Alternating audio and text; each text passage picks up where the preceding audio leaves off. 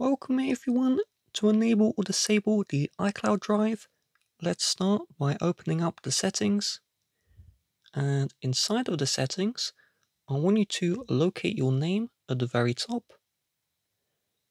And from here, I want you to locate where it says iCloud. And then you should see this one, the iCloud Drive and you have the option to turn this one on or off.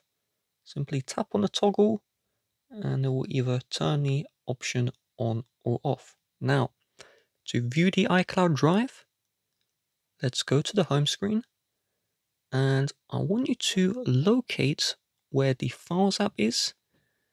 And so let's open the Files app and I want you to go back until you see this browse screen and under locations, you're going to see the iCloud Drive. So let's go into the iCloud Drive and you can see all of the files in your iCloud Drive and you can access them like this.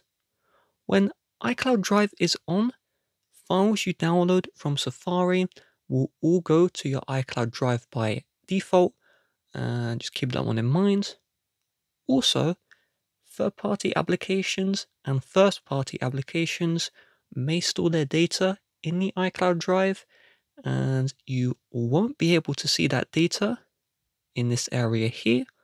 But if you were to delete an app and reinstall it, the iCloud Drive will have all of the data uh, stored so you can resume where you left off. With that being said, if you'd like to help support the channel, please do check the description. Bye bye.